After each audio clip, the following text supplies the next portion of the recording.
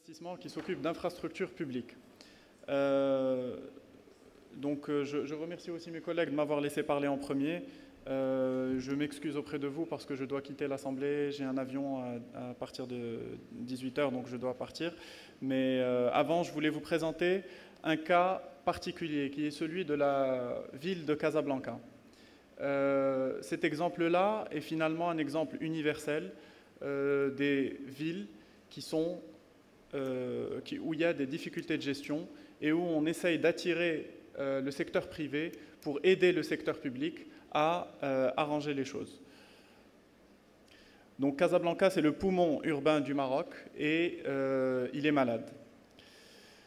Les dix plaies de Casablanca, c'est l'insécurité, le chômage, les bidonvilles, les embouteillages, la pollution, les déchets, le commerce informel, les bâtiments en ruine, ça, vous prenez n'importe quelle ville euh, de la Méditerranée du Sud, vous trouverez les mêmes, euh, vous ferez le même diagnostic.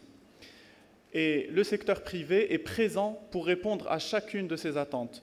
Euh, je travaille dans un fonds d'investissement qui est capable de financer des transports, de l'énergie, des hôpitaux, des écoles, des stades et autres.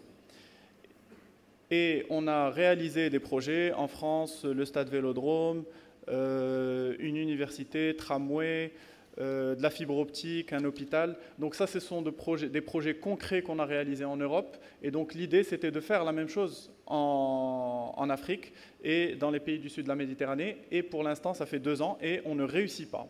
Donc la question, c'est pourquoi le privé ne peut pas, euh, agir dans les villes du sud de la Méditerranée? Euh, il y a une lettre d'un militant politique et associatif marocain que je voudrais vous lire parce qu'elle résume finalement tous les points euh, de, cette difficulté. Donc Casablanca est la ville des disparités sociales les plus criantes, où se côtoient les catégories les plus riches et les classes les plus pauvres. Donc on a les gratte-ciel et les bidonvilles.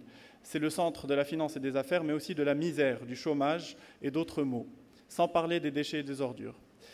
La transformation de Casablanca en hub financier international exige d'abord et avant tout des infrastructures, des services de base répondant aux normes mondiales.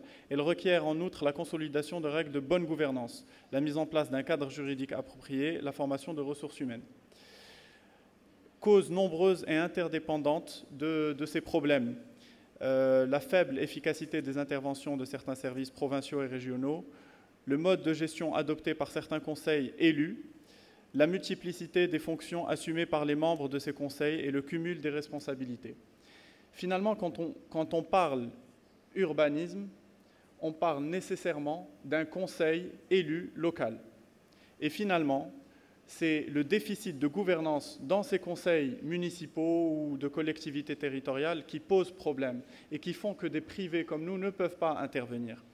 le, militant politique et associatif qui a écrit ces mots vous le connaissez tous, j'en suis sûr. C'est Sa Majesté le roi Mohamed VI. Et euh, il a parlé de Casablanca en ces termes dans son dernier discours. Et donc ça montre que même au plus haut niveau de l'État, euh, il y a des difficultés à intervenir au niveau de grandes euh, agglomérations urbaines pour améliorer les choses au niveau de la vie réelle des citoyens, parce que finalement, c'est ça qui nous intéresse. Donc, si j'ai une idée euh, que je voudrais que vous gardiez aujourd'hui, euh, c'est que nos partenaires européens peuvent nous aider énormément à œuvrer pour la mise à niveau de la gouvernance locale. Et le privé prendra naturellement sa place dans l'effort de reconstruction.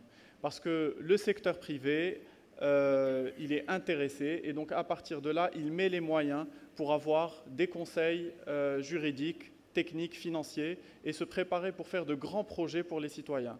Malheureusement, en face, les conseils communaux, les collectivités territoriales euh, ne sont pas préparées, elles manquent de ressources humaines, elles doivent lancer des appels d'offres pour se faire accompagner. il y a des problèmes de corruption que vous connaissez tous. Et donc, si avant, de commencer à parler euh, de l'apport du privé euh, dans, ces villes, il faut d'abord assainir à ce niveau-là, au niveau local, et euh, l'Union européenne en général, et dans le cadre du dialogue 5 plus 5, il faut qu'il y ait une aide à ces, à ces grandes collectivités locales pour se mettre à niveau. Et merci.